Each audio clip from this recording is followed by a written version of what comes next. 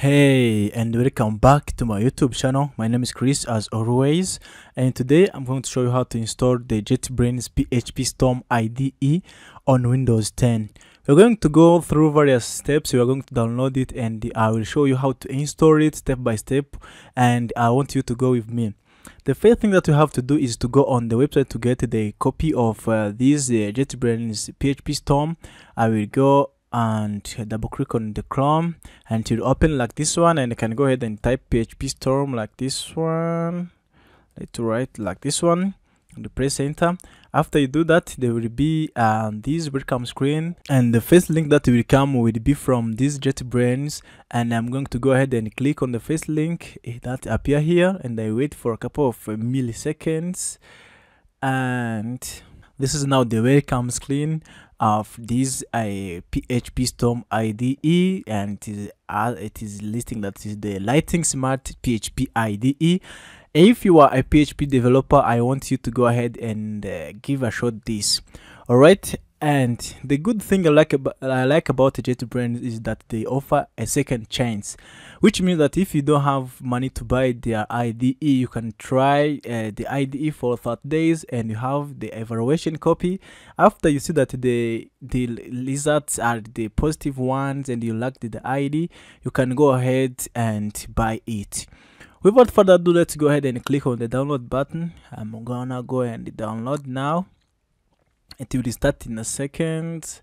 So let's wait for this file to be downloaded. It is not a heavy file so you have to wait till it is now done. Alright core. Once our download is complete you can go ahead and open the setup.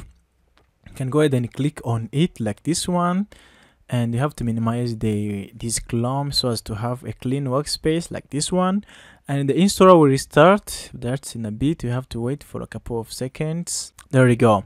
And you can see now the installation wizard is started. Go ahead and click next.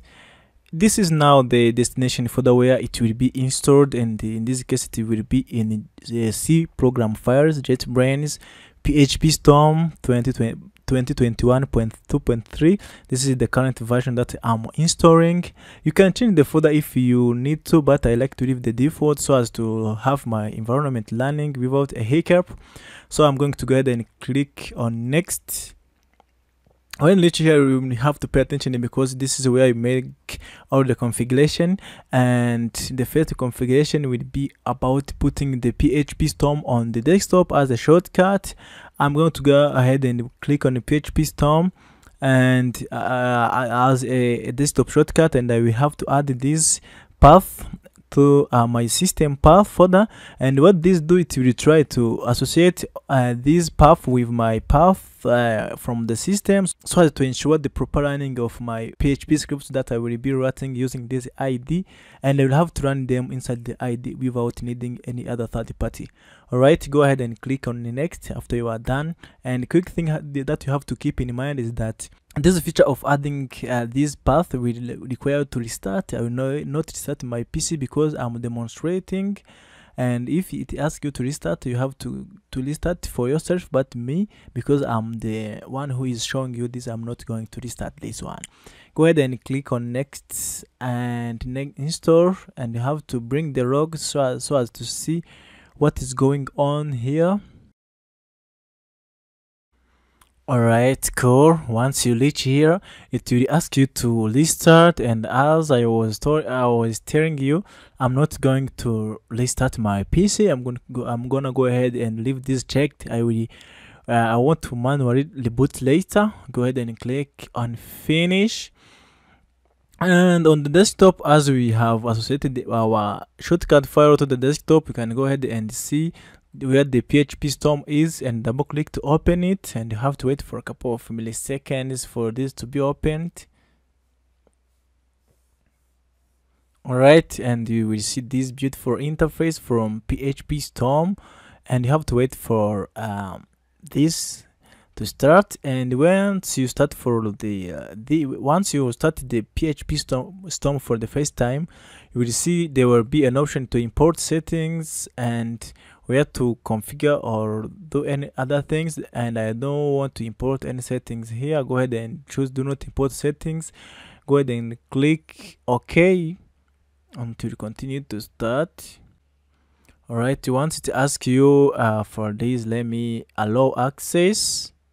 Alright and this is now the screen that will come that would ask you for the activation. And as i was telling you i was telling you that you can try this as a trial for evaluation and if you find these uh interesting you can continue with the licensing version.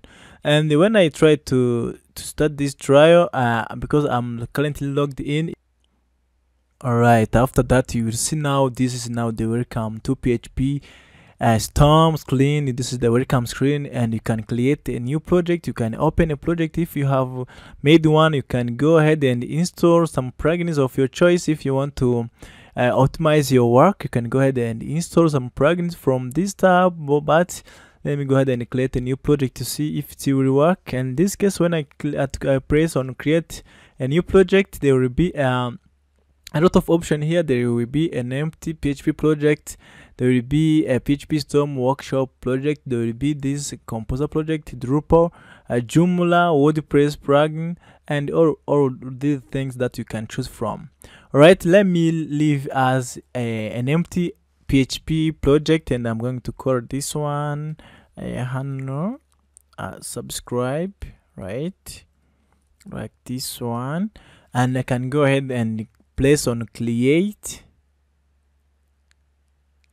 And have to wait for this to load the components. And once the indexing is complete i'm going to go ahead and try to create a new file. Uh, so let me click on here and to ask me to put the file name. Let me call this chris uh, chris test for example using camel case and I place OK.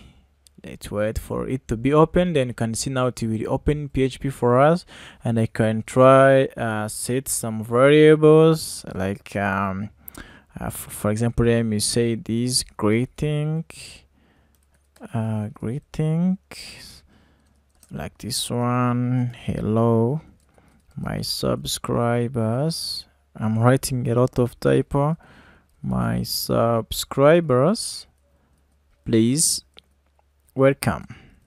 Like like this one. So let me try to echo this. Echo uh, greetings uh, greetings like this one. Put semicolon and here too. I forgot it. Let me try to uh, to close my php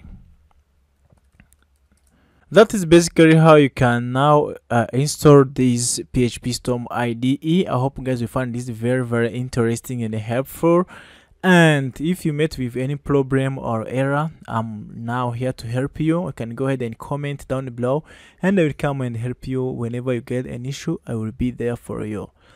So thanks for watching this video. Give it a thumbs up. And if you are coming on this channel for the first time go ahead and subscribe and i will see you guys in the next one